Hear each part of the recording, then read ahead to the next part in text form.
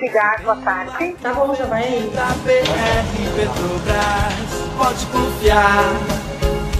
É Lique Gás. Quem cozinha sabe que na hora de botar a panela no fogo tem que estar tá tudo na mão. Precisou? Tá na mão. Você liga e a gente entrega rapidinho o seu Lique Gás.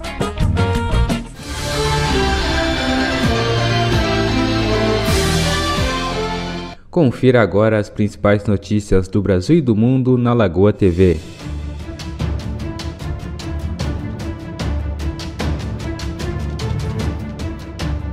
torcedores faziam um churrasco no local, mas quando a partida eh, entre Grêmio e Real Madrid começou, eles se afastaram da churrasqueira e deixaram as brasas acesas. As chamas se espalharam por um matagal e depois atingiram os carros.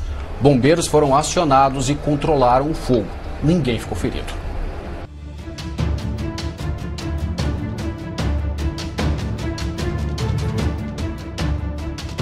neste domingo, depois que o palco de um festival de música eletrônica desabou em Esteio, no Rio Grande do Sul. Um vídeo publicado nas redes sociais mostra o desabamento. Parte da estrutura despencou com a força do vento. O local sediava uma rave desde a tarde de sábado. Um DJ que estava no palco sofreu traumatismo craniano e morreu.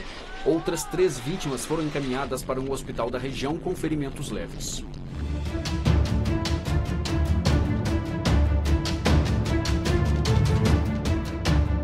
Como aconteceu ontem, hoje foi dia de protestos e repressão policial na Argentina. Trabalhadores e trabalhadoras são contra a reforma trabalhista e o arroxo nas aposentadorias defendidos pelo governo de Maurício Macri.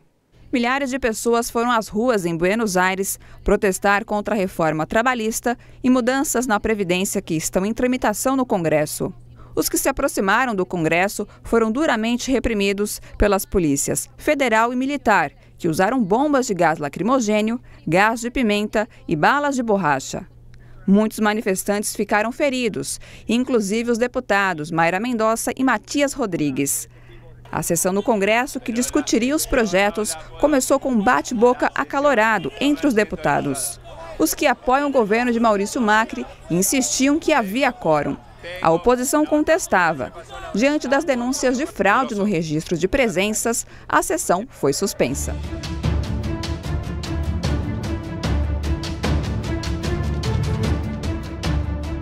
Parlamentares denunciam que a emenda do teto de gastos impôs a redução das verbas de diversas áreas e os setores mais atingidos foram as políticas sociais voltadas para os mais pobres. Veja na reportagem de Welson Kalinowski.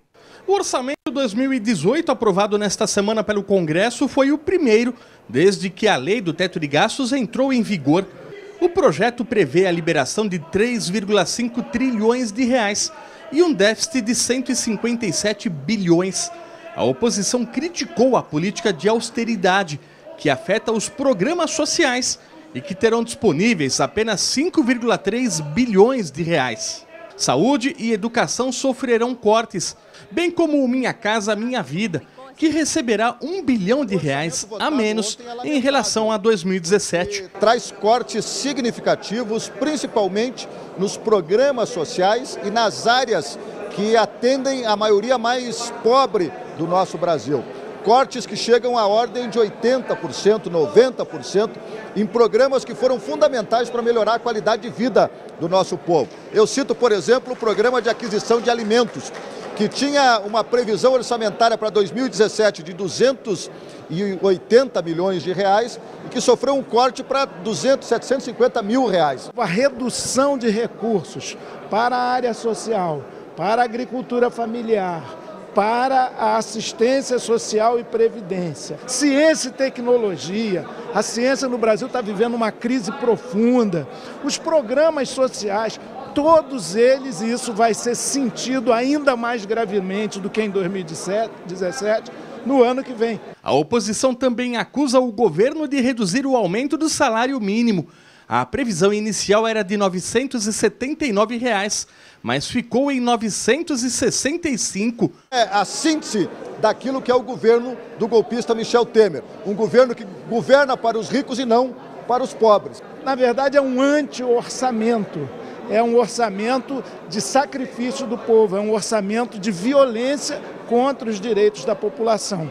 É um orçamento que certamente será repudiado nas urnas. O pessoal que tem sido uma espécie de porta-voz dos partidos menores no Congresso também criticou o valor destinado para custear as eleições do ano que vem. Serão 1,7 bilhões de reais para o Fundo Especial de Financiamento de Campanha, criado na mini-reforma política aprovada no segundo semestre deste ano. Que já está repartido de maneira desigual, 95% para os grandes partidos, 5% para os demais, para fazerem campanhas enganosas, mentirosas, milionárias, agora com dinheiro público. Ali não houve ajuste nem contenção de gastos.